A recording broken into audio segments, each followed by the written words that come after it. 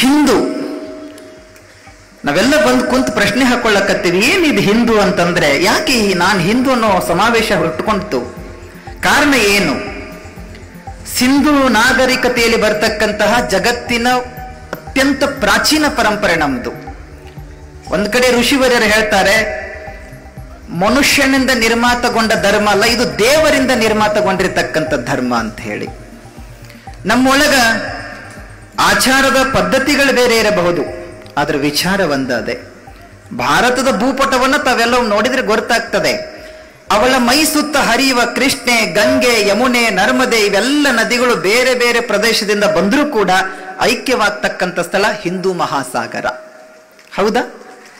ನಾವು ಬೇರೆ ಬೇರೆಯಿಂದ ಬಂದಿರಬಹುದು. ನಮ್ಮದು ಅಧರ್ಮ ನಮ್ದು ಈ ಜಾತಿ, ಈ ಪಂಥ ಅಂತ ಬಂದಿರಬಹುದು, ಆದರೆ ಕೂಡ್ತಕ್ಕಂಥ ಸಾಗರ ಅದು ಹಿಂದೂ ಮಹಾಸಾಗರ. ಅಂತಹ ಉತ್ತರದೊಳಗ ಹಿಮಾಚ, ಹಿಮಾಲಯ ಪರ್ವತ ಶ್ರೇಣಿ, ದಕ್ಷಿಣದೊಳಗ ಹಿಂದೂ ಮಹಾಸಾಗರ, ಇದರ ಮಧ್ಯದಲ್ಲಿ ಬರತಕ್ಕಂಥ ಪ್ರಾಚೀನ ಪರಂಪರೆ, ಅದು ಸಿಂಧೂ ಪರಂಪರೆ. ಯಾರೋ ಒಬ್ರು ಹೇಳಿದ ತಕ್ಷಣ ಧರ್ಮ ಮತ್ತು ಶಬ್ದವನ್ನ ಅಲ್ಲಿಗಳಿಲಿಕ್ಕೆ ನಮಗಾಗೋದಿಲ್ಲ. ನಮ್ಮ ಗುರುಗಳು ನಮ್ಮ ಗುರುಗಳು ಇನ್ನೊಂದು ವಿಶೇಷ ಏನು ಅಂತಂದ್ರೆ ಇಂಚಿಗೇರಿ ಮಠ ಅಂತ ಹೇಳಿ ಕೇವಲ ಯಾರ ಹೆಸರಷ್ಟೇ ಕೇಳಿದ್ರೆ ಇತಿಹಾಸವನ್ನು ಕೂಡ ಅರ್ಥ ಮಾಡ್ಕೊಳ್ಬೇಕಾಗ್ತದೆ. ಇಂಚಿಗೇರಿ ಮಠ ಈಗೀಗ ತಲೆ ಎತ್ತಿ ನಿಂತಿರ್ತಕ್ಕಂಥ ಮಠ ಅಲ್ಲ. ಆ ಪರಂಪರೆಗೆ ನಾ ಸ್ವಾಮಿ ಆಗಿದ್ದೇ ಒಂದು ಹೆಮ್ಮೆ ವಿಷಯ. ಹತ್ತೊಂಬತ್ ನೂರ ನಲವತ್ತೇಳರ ಸ್ವತಂತ್ರ ಸಂದರ್ಭದೊಳಗ ತನ್ನದೇ ಆಗಿರ್ತಕ್ಕಂಥ ಒಂದು ಕಾರ್ಯವನ್ನ ಮತ್ತು ಕ್ರಾಂತಿಯನ್ನ ಮಾಡಿರ್ತಕ್ಕಂಥ ಮಠ. ನೆನಪಿರಬೇಕು ಹಿಂದೂ ಬಂಧುಗಳೇ, ಸ್ವತಂತ್ರ ಸಂಗ್ರಾಮದ ಕಾಲದೊಳಗ ಆಗಿನ ಕಾಲಕ್ಕ ಸುಮಾರು ಸಾವಿರಾರು ಮಠಗಳಿದ್ದು ಅಂತ ಹೇಳಿ ಲಿಖಿತ ಅದೇ. ಆದರೆ ಗಮನ ಸೆಳೆದಿರ್ತಕ್ಕಂಥ ಮಠ ಇಂಚಿಗೇರಿ ಯಾಕೆ ಅನ್ನೋದಕ್ಕೆ ಪ್ರಪ್ರಥಮ ಭಾರ್ಯ ಪ್ರಪ್ರಥಮವಾಗಿ ಭಾರತದ ಸ್ವತಂತ್ರಕ್ಕಾಗಿ ಭಾರತದ ಸ್ವತಂತ್ರಕ್ಕಾಗಿ ಕರ್ನಾಟಕದೊಳಗ ಎರಡು ತೌನ್ದಲ್ಲಿ ಬಂದೂಕು ಫ್ಯಾಕ್ಟರಿ ಮತ್ತು ಬಾಂಬ್ ಫ್ಯಾಕ್ಟರಿ ತಯಾರು ಮಾಡಿರ್ತಕ್ಕಂಥ ಮಠ ಅದು ನನ್ನ ಮಠ. ಅಥನಿ ತಾಲೂಕಿನ, ಇವತ್ತಿಗೂ ಬೇಕಾದ್ರೆ ಹೋಗ್ಬೋದು ನೀವು ಅಥನಿ ತಾಲೂಕದೊಳಗೆ ಬರ್ತಕ್ಕಂಥ ಕೊಟ್ಟಲಿಗಿ ಗ್ರಾಮದೊಳಗ ಮೊಟ್ಟ ಮೊದಲ ಬಂದೂಕ್ ಫ್ಯಾಕ್ಟರಿ ತಯಾರು ಮಾಡಿರ್ತಕ್ಕಂಥ ಮಠ ನಂದು. ಸ್ವತಂತ್ರಕ್ಕಾಗಿ ಈ ರೀತಿ ಕೊಡುಗೆ ಕಟ್ಟಿರ್ತಕ್ಕಂಥ ಮಠ. ಸುಭಾಷ್ ಚಂದ್ರ ಬೋಸ್ರವರು ಅತ್ಯಂತ ನಿಕಟ ಸಂಪರ್ಕವನ್ನ ಹೊಂದಿ ಮೂರು ಸಾರಿ ಮಠಕ್ಕೆ ಬಂದು ನಮ್ಮ ಗುರುಗಳ ಜೊತೆ ಸಂಪರ್ಕ ಇಟ್ಟುಕೊಂಡು ನೀವು ದಾಳಿ ಮಾಡಲೇಬೇಕು ಅಂತಂದಾಗ ತನ್ನ ಮಠದ ಭಕ್ತರನ್ನ ಸೈನಿಕರನ್ನಾಗಿ ಪರಿವರ್ತಿಸಿಕೊಂಡು ಹಿಂದೂಸ್ತಾನದ ಒಂದ ಗುರಿ ಇಟ್ಟುಕೊಂಡು ಒಂದು ಮಠ ಯಾವುದಾದ್ರೂ ಕ್ರಾಂತಿ ಮಾಡಿತ್ತಂದ್ರೆ ಅದು ನನ್ನ ಇಂಚಿಗೇರಿ ಮಠ. ಅಂತಹ ಮಠದ ಪರಂಪರೆಯೊಳಗೆ ನಾ ಗುರು ಆಗಿದ್ದಕ್ಕೂ ಸಾರ್ಥಕತೆ ಅದೇ. ಇವತ್ತು ನನ್ನ ಮಠಕ್ಕೆ ಬಂದವರು, ನಂದಿಲ್ಲಿ ಶಾಖಾ ಮಠ ಹುಕ್ಕೇರಿಗಿದೆ ನಮ್ಮ ದೊಡ್ಡ ಮಠಕ್ಕೆ ಬರೀ, ನಮ್ಮ ಹುಕ್ಕೇರಿ ಮಠಕ್ಕೆ ಬರೀ, ನಮ್ಮ ಮಠದೊಳಗ ನಮ್ಮ ಗುರುಗಳು ಕುಂದಿರ್ತಕ್ಕಂಥ ಕೋಣೆ ಒಳಗ ಮೊದಲ ಫೋಟೋ ಯಾವ್ದದ ಅಂತಂದ್ರೆ ಅಖಂಡ ಭಾರತದ ಚಿತ್ರ, ಎರಡನೇದು ಭಾರತ ಮಾತೆ ಫೋಟೋ ಇವೆರಡೇ ಫೋಟೋ ಇಟ್ಟೇವೆ ನಾವು. ಕಾರಣ ಏನು ಅಂತಂದ್ರೆ ನಂದು ಹಿಂದೂ ತರ ಪರಂಪರೆ, ನಂದು ಸನಾತನ ಧರ್ಮ. ಸನಾತನ ಅಂತಂದ್ರೆ ಸಾವಿಲ್ಲದ ಧರ್ಮ. ಅದಕ್ಕೆಂದೂ ಸಾವಿಲ್ಲ.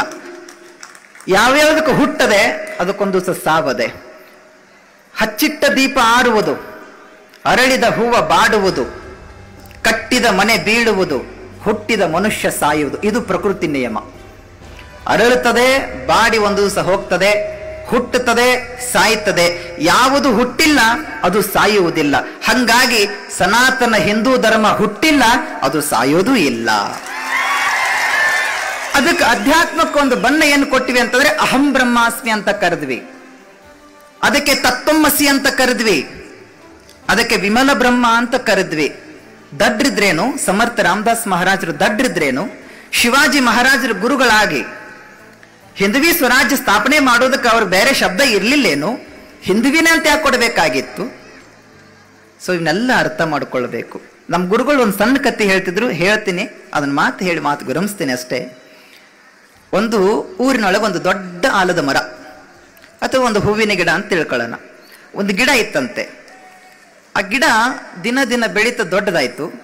ತುಂಬಾ ಚೆನ್ನಾಗಿ ಬೆಳೆದ್ ಮೊಟ್ಟ ಮೊದಲಿಗೆ ಆ ಗಿಡದೊಳಗೆ ಎಲೆಗಳು ಆಗಲಿಕ್ಕೆ ಪ್ರಾರಂಭ ಆಯ್ತಂತೆ. ಎಲೆ ಚಿಗುರೋಡದ ಬಳಿಕ ಅದರ ಬಣ್ಣ ಹಸಿರಾಗಿ ನಿತ್ತಲ್ಲ.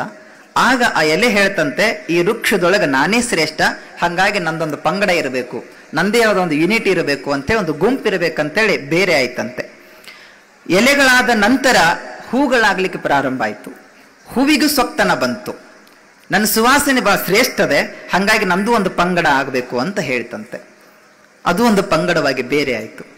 ಅದಾದ ಬಳಿಕ ಹಣ್ಣಾಯ್ತಂತೆ. ನನ್ನ ರುಚಿ ತುಂಬಾ ಇಷ್ಟ. ಸೊ ಹಾಗಾಗಿ ನಂದು ಒಂದು ಪಂಗಡ ಅಂತ ಹೇಳ್ತಂತೆ. ಅದು ಕೂಡ ಬೇರೆ ಆಯ್ತಂತೆ. ಗಿಡದೊಳಗೆ ಇರ್ತಕ್ಕಂಥ ಎಲೆ ಬೇರೆ ಆಯ್ತು, ಹೂ ಬೇರೆ ಆಯ್ತು, ಹಣ್ಣು ಬೇರೆ ಆಯ್ತು. ಅವು ನಾನ್ ಶ್ರೇಷ್ಠ ನಾನ್ ಶ್ರೇಷ್ಠ ನಾನ್ ಶ್ರೇಷ್ಠ ಅಂತ ಎದೆಯುಬ್ಬಿಸಿ ನಗ್ತಾ ಇದ್ವಂತೆ. ಆ ಮೂರನ್ನು ನೋಡಿ ಅವಕ್ಕೆ ಪೋಷಣೆಯನ್ನು ಕೊಟ್ಟು ಆಧಾರವಾಗಿ ನಿಂತಿರ್ತಕ್ಕಂಥ ಭೂಮಿಯೊಳಗಿರುವ ಬೇರು ಸುಮ್ಮನೆ ಒಂದು ಮುಗುಳ್ನಾಗೆ ನಕ್ಬಿಡ್ತಂತೆ ಆಗ ಮೂರೂ ಸಿಟ್ಟಿನಿಂದ ಬೇರೆ ಕೇಳ್ತವಂತೆ, ನೀ ಯಾಕೆ ನಗಾಕತ್ತೀಯ? ಅಂಥೇಳಿ ಅಲ್ಲೋ ಹುಚ್ಚುಗೋಡ್ರ್ಯ ನಾನು ದೊಡ್ಡವ ನಾನು ದೊಡ್ಡವ ನಾನು ದೊಡ್ಡವ ಅಂತ ಅನ್ನಕತ್ತಿರಲ್ಲ. ನಂದು ಶ್ರೇಷ್ಠ, ನಾನೇ ಶ್ರೇಷ್ಠ ಅನ್ನಕತ್ತಿರಲ್ಲ. ನಿಮ್ಮೆಲ್ಲರಿಗೆ ಆಧಾರವಾಗಿ ನಿಂತಿದ್ದೇ ನಾನು ಬೇರು. ನಾನೇ ಇಲ್ದಿದ್ರೆ ನೀವ್ ಹೆಂಗೆ ನಿಲ್ತಿದ್ರಿ? ಇದರ ಮಾತಿನ ತಾತ್ಪರ್ಯ ಇವತ್ತು ಎಷ್ಟು ಪಂಗಡ, ಎಷ್ಟು ಪಂಥ, ಎಷ್ಟು ಧರ್ಮಗಳು ಈ ಭೂಮಿ ತೆಲೆ ಮೇಲೆ ಮೆರಿತಾ ಇದ್ದಾವಲ್ಲ, ಆ ಮೆರೆಯುವಂತ ಧರ್ಮಕ್ಕ ತಾಯಿ ಬೇರೆ ಯಾವುದಂತಂದ್ರೆ ಅದು ಸನಾತನ ಹಿಂದೂ ಧರ್ಮ. ಆ ಧರ್ಮದ ಆಧಾರದ ಮೇಲೆ ಎಷ್ಟೋ ಧರ್ಮಗಳನ್ನೆತ್ತವೆ ಯಾಕೆ? ವಿವೇಕಾನಂದರು ಹೇಳಿಲ್ಲೇನು? ಎಲ್ಲ ಎಲ್ಲ ದೇಶದ ಪವಿತ್ರ ಗ್ರಂಥಗಳ ಭಗವದ್ಗೀತೆ ಮೇಲೆ ಇಟ್ಟಾಗ ಹೇಳಿಲ್ಲೇನು? ಎಲ್ಲ ದೇಶದ ಜನರನ್ನ, ಎಲ್ಲ ಜಾತಿಯ ಜನರನ್ನ, ಎಲ್ಲ ಧರ್ಮದ ಜನರನ್ನ ಭುಜದ ಮೇಲೆ ಅಲ್ಲ ತಲೆ ಮೇಲೆ ಹೊತ್ಕೊಳ್ತಕ್ಕಂಥ ತಾಕತ್ ಯಾವ್ದಾದ್ರು ಒಂದು ಧರ್ಮಕ್ಕಿತ್ತಂದ್ರೆ ಅದು ಸನಾತನ ಹಿಂದೂ ಧರ್ಮಕ್ಕಂತೇಳಿ ಸ್ವಾಮಿ ವಿವೇಕಾನಂದ್ರೆ ಹೇಳಿಲ್ಲೇನು?